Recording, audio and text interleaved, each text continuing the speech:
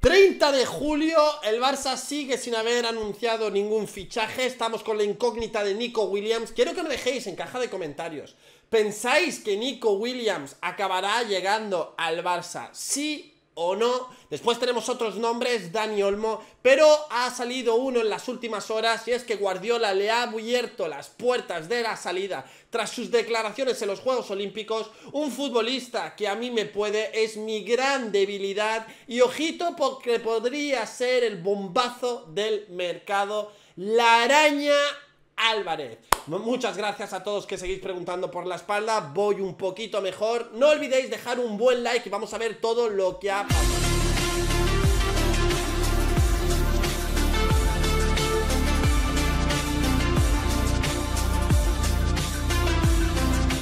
Buenas amantes y fans del buen fútbol. Pues mientras el barcelonismo, todos los culés nos preguntamos qué pasará con Nico Williams, pues este sigue en Marbella con la miña mal que malamente no están descansando, merecido. Además, siguen saliendo mil pistas. Ahora el padre de la miña mal sube una foto con Nico Williams y de verdad es que esto es una tortura, porque es una tortura para el aficionado que vive pues ilusionado con la llegada del joven jugador. Ahora la prensa te vende de que se queda en el Athletic Club de Bilbao. Yo por momentos tengo la sensación de que aquí nadie, absolutamente nadie sabe nada, el futbolista pues está en sus vacaciones y aquí todos intentan apuntarse el tanto de yo he sido quien ha dado la exclusiva, pero ha salido un nombre y esto sí es concreto, esto sí son declaraciones reales, se han dicho. Y es que quiero que me dejéis saber en caja de comentarios qué pensaríais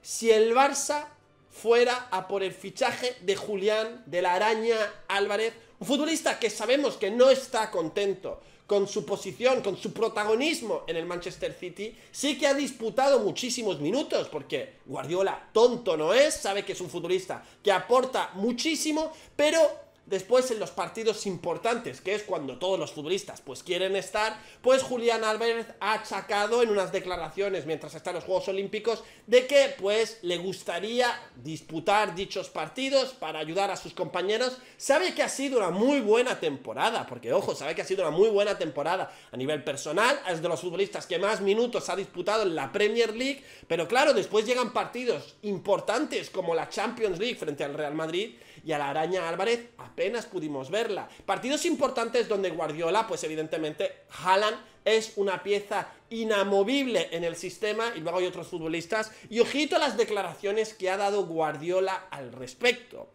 Julián Álvarez, quien el chiringuito, por ejemplo, ya está vendiendo, pues que se está acercando al Atlético de Madrid, que el Atleti es su sueño, tener a la araña Álvarez, que Simeone cuenta muchísimo con él, que es objetivo prioritario de Julián Álvarez acabar recalando en el Atlético Madrid, y yo de verdad, de todo corazón, espero y deseo que esto no suceda. Ya sabéis, Morata ha salido al Milán, Depay no seguirá en el Atlético Club de Madrid, en el Atlético de Madrid, digo yo, Atlético Club, y pues necesitan un delantero. Dotbig les ha dado largas, ha dicho que es un proyecto mediocre y que no irá, ha preferido irse a la Roma y sería un error enorme que Julián Álvarez acabara en el Atlético de Madrid, donde el Cholo Simeone lo va a poner como lateral o como pivote defensivo. Después está el Barça, que la opción prioritaria es Nico Williams.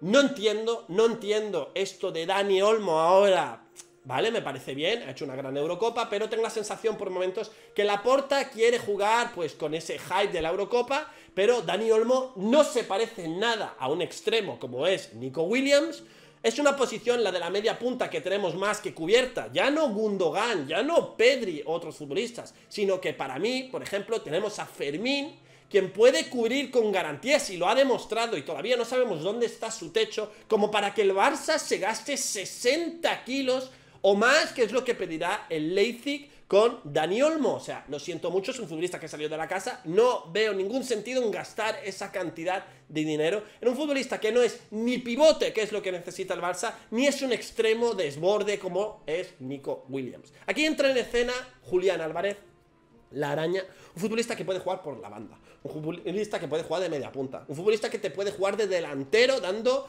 pues competitividad a Lewandowski, un futbolista que va como anillo al dedo a las necesidades de Hansi Flick, porque es un futbolista que se mata por el equipo, es un futbolista que se sacrifica, un futbolista que no se cansa de presionar, un futbolista con buen toque de balón, porque es un futbolista con muy buen toque de balón, un futbolista que encajaría a las mil maravillas con el estilo combinativo del Barça, un futbolista inteligente, porque si hay un futbolista pillo es Julián Álvarez, claro, ahora alguien me escuchará y dirá, claro, pues que tú tienes debilidad, sí, yo tengo debilidad por Julián Álvarez, porque si se abre realmente esa posibilidad, pienso que el Barça debe ir a por él sí o sí o sí. Y es que viene de ganar la Copa América, ha ganado el Mundial, lo ha ganado absolutamente todo. Creo que hay cuatro futbolistas en la historia que han ganado Libertadores, Champions, Copa América en este caso y Mundial.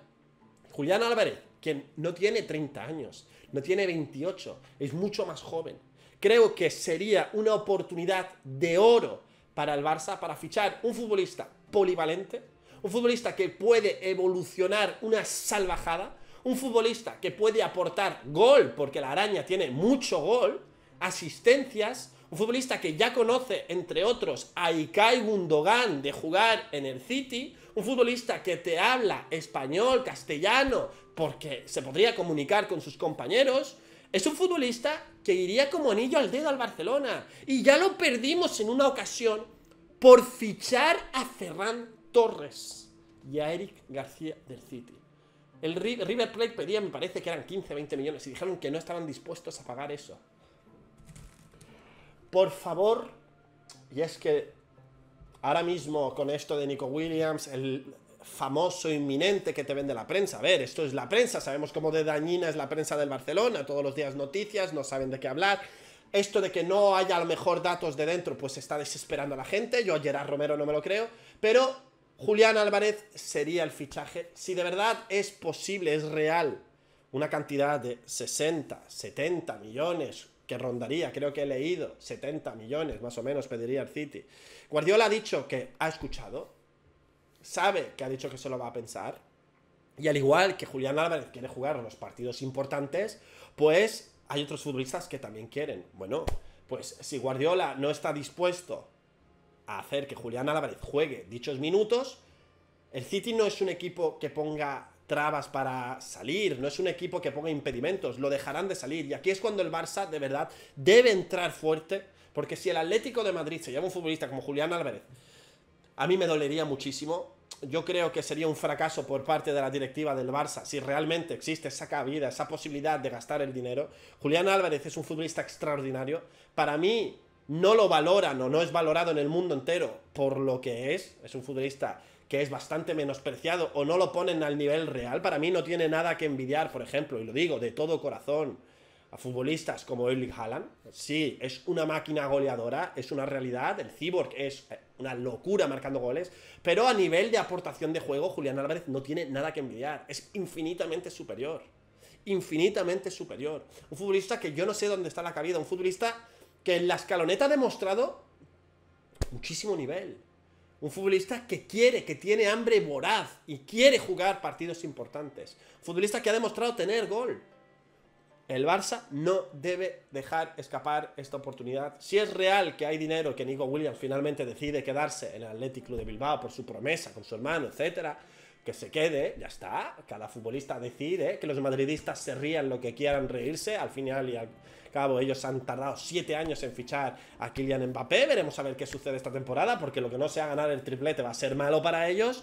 Y el Barça, comentadme qué os parecería la posibilidad de fichar a Julián Álvarez, la araña Guardiola, aunque sea un grandísimo entrenador, ya sabéis que yo siempre lo defiendo, no es perfecto tampoco. Dejó escapar futbolistas como Mesut Özil, dijo que no cuadraba para el Barça. Dejó escapar un futbolista como Cole Palmer en el Chelsea, por lo mismo, porque quería más minutos y pues Guardiola no podía ofrecérselo porque hay otros futbolistas.